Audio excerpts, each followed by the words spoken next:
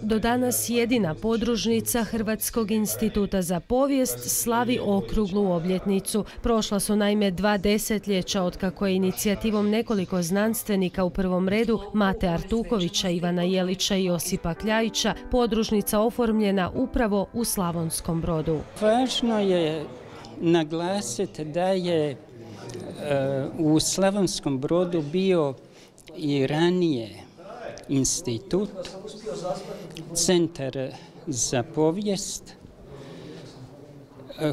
koji je nažalost bio ugašen 1991. godine. Na tom temelju, pogotovo što se tiče e, materijalnih uvjeta, zgrada, knjižnica i tako dalje, to je zapravo osiguralo onaj početni dobar start e, buduće podružnice. U dva desetljeća opsežnog istraživačkog i izdavačkog rada kroz podružnicu je do sada prošlo 30 znanstvenika. Oni su temeljito i trajno istraživali i bilježili povijest slavonsko-barensko-srijemskog kraja. Mislim da je e, ova ustanova kroz 20 godina da je zaista dala hrvatskoj historiografiji vrijedne rezultate. Kada pogledamo broj znanstvenih skupova,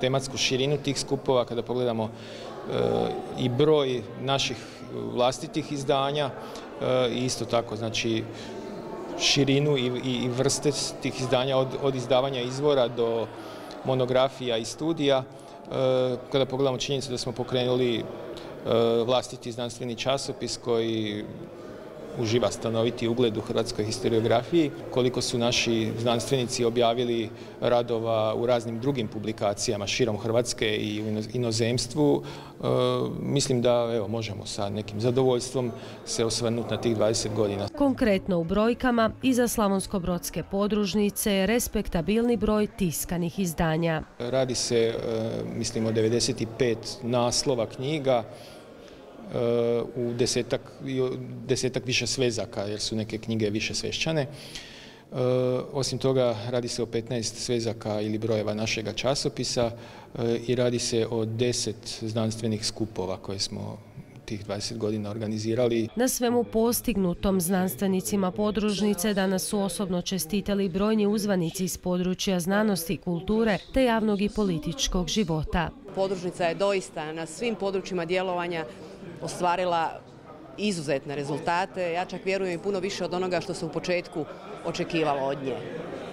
Nismo imali sreće u proteklom, proteklim razdobljima i godinama, tako sa zapošljavanjem novih ljudi, zadržavanjem doktoranata, tako da smo se i u Zagrebu i ovdje nešto malo kadrovski osuli, ali ja se nadam da smo postavili čvrste temelje i da budućnost ni podružnice, ani instituta ne bi trebala biti u budućnosti upitna. Kuća je velika, ima svoju djelatnost, ima svoj časopis, ima svoj kadar, ima svoje projekte, ali da kako? Došlo je novo doba i to, ljudi moraju shvatiti. Danas svi u Hrvatskoj zauzimaju pozicije, pozicije za start. Počinje jedna nova naša olimpijada i ovaj se institut u tom smislu mora preustrojiti. Za 20 godina 20 vrijednih priznanja dodijeljeno je zaslužnim institucijama i pojedincima, među kojima su uz Ministarstvo znanosti i grad Županija te Muzej Brodskog posavlja i knjižnica. U povodu obljetnice otvorena i prigodna izložba gdje su na panojima zabilježeni svi značajniji događaji i pojedinci koji su izgradili ime i ugled podružnice, a sve ono što je iza mukotrpnog istraživačkog posla zapisano ostaće generacijama koje dolaze, a kako je rečeno, najpravedniji sudac svega što je učinjeno bit će vrijeme koje dolazi.